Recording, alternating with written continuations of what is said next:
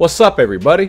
It's Luke James, not the singer. If you're looking to get your music reviewed, you can hit up this email that's right here. But today I'm going to hit you up with my thoughts and opinions on this EP from Leo West called Somewhere West. Now, Leo West is a rapper who's coming out of Chicago, and if you want to find out more about him and check out his music, all you got to do is take a look at the links down below. But as for this project right here, it's a very short affair with only six tracks, including the radio drop intro called Sunrise on 290, so there's not going to be a whole lot to break down here since it's such a short project. It's under 13 minutes in length, but even still, within that time frame, Leo shows a lot of potential and versatility. I especially like the title track with those triumphant horns and the dope-ass beat drop, as Leo is on here working sing-songy flows about his come-up and aspirations, and I actually think he's at his best when he's making these more smooth, bright, and fun tracks. One of my favorites in particular is Coltrane, where his verses float over the big bass and jazz piano with ease. This track by far is my favorite song on the whole album, so make sure you check it out. There's also a video for it, and it also has a bright and catchy hook on here. Really just a great song all around,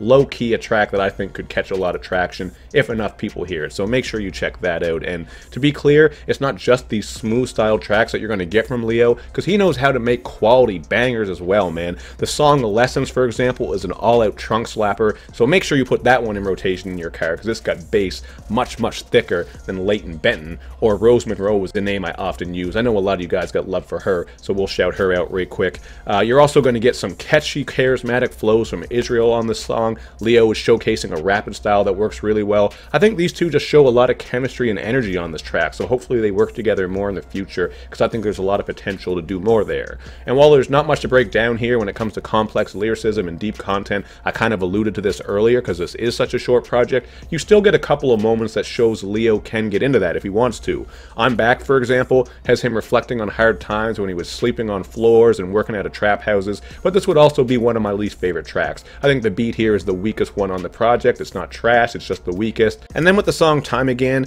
Leo was reflecting on people he lost to the streets, beef, and suicide.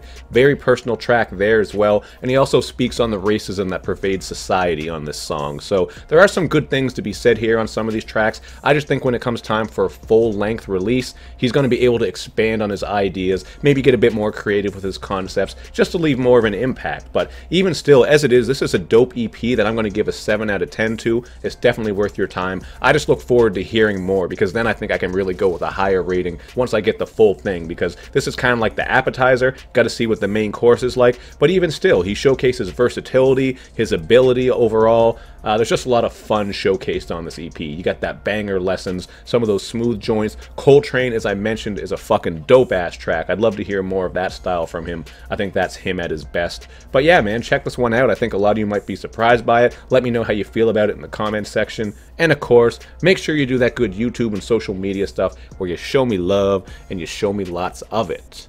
Thank you for watching, everybody. I will see you next time.